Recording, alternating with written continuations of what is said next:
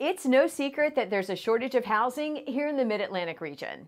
While the spring market typically brings more inventory, many buyers right now are looking to new construction communities for their next move. Buying a new home offers the opportunity to move into something that's brand new, no one else has ever lived in. It has all the finishes you're looking for, and without having to compete with multiple offers from other buyers. And there's some things you need to know about buying a new construction home in Maryland. I'm Realtor Rebecca Cole with Berkshire Hathaway Homesale Realty, and I help people just like you buy, sell, and relocate to Maryland. And today I'm going to give you all the information you need to know before you walk into the builder's model home.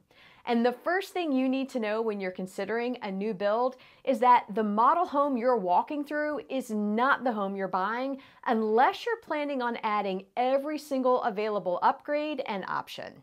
It's understandable that the builder would like to showcase every possible upgrade that they offer because they're in the business of selling new homes, and upselling is, of course, part of the process.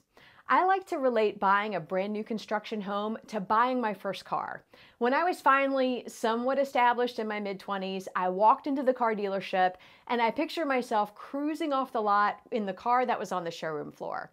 Now, by the time I got to the financing office, my beautiful new car had been reduced to a base model hatchback, and the only feature was floor mats. No air conditioning, no sound system, and certainly no automatic locks or windows. In fact, I was outraged that floor mats were even considered a feature and not a standard item that was included with the car. Now, buying a new construction home isn't quite that bad. Most new homes in Maryland come with your basic base level kitchen, appliances, uh, central air conditioning, and a water heater. Although most builders do not include a clothes washer or clothes dryer, and some of them do not include refrigerators. You want to note that a base model water heater and air conditioning unit may be smaller or different than the one that you see in a model home. I was recently touring a new construction community with a client, and I noticed the water heater was considerably larger in the model home than the home we were touring that was near completion.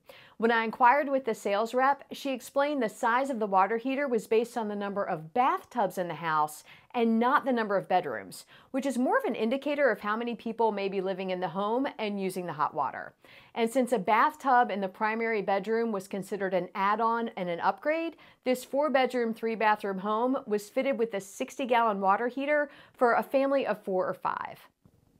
The same goes for kitchen cabinets, flooring, countertops, lighting, bathroom tile, vanities, and appliances.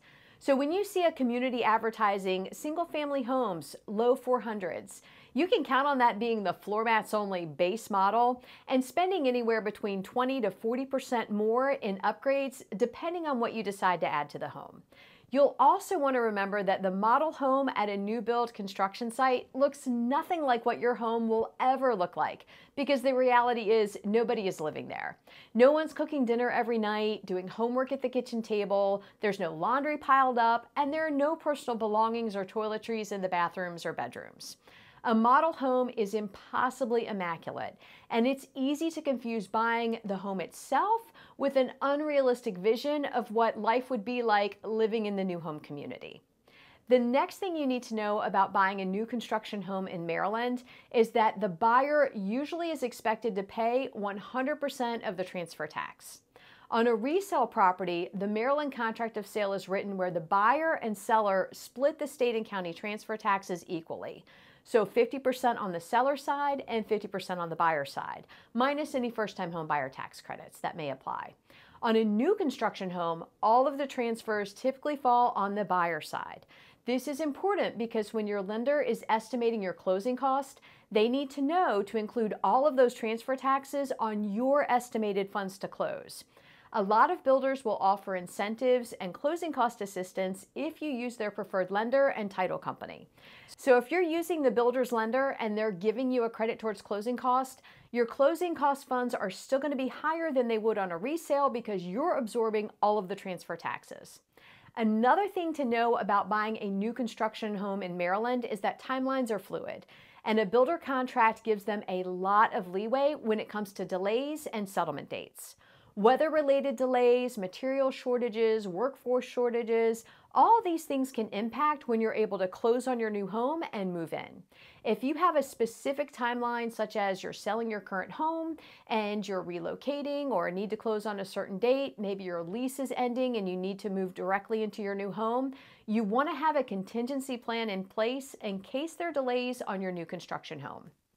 And the most important thing you need to know when considering a new construction home in Maryland is that the sales representative who greets you at the new construction community works directly for the builder.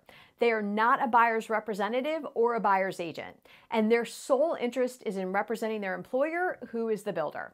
In the state of Maryland, you're entitled to have your own buyer's representation when you're buying a new construction home. And in many cases, the builder will even pay for that buyer agency commission.